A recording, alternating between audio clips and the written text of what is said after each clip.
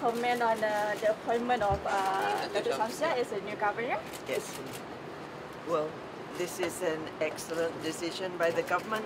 It reflects the respect that the government has for the central bank as an important institution. Um, uh, Datuk Shamsiah was a former deputy governor while I was in office and she knows all about central banking mm-hmm. and she will hit the ground running. Did you recommend her name to the government? No comment. I'm happy with the appointment. Yeah. Uh, well, I'm happy that the government demonstrates its respect for the institution. She was a former central banker. Mm-hmm. She knows all about central banking.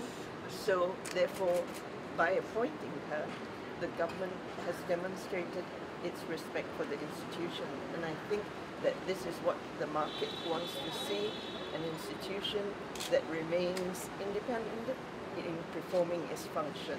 Okay, thank you. Thank Thank you. All right, all right. They were saying, they were saying that the, uh, the newly appointed governor was also one of the person investigating into one MDB matter.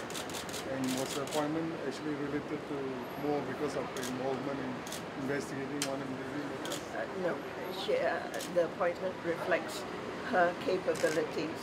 In fact, she is now, uh, well, she uh, took on a, a position at the IMF because of her qualifications, and she's recognized internationally as well in her area of specialization. Yes, which is in the area of financial stability.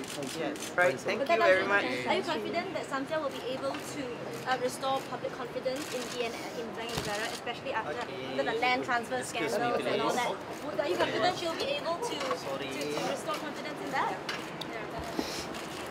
As a former colleague, I have full confidence in her in performing the the position that she has now been appointed to because she knows all about central banking. She has uh, more than 20 to 30 years experience. alright, got it, thanks. Hai Tante. Yes. Pak, Yes. saya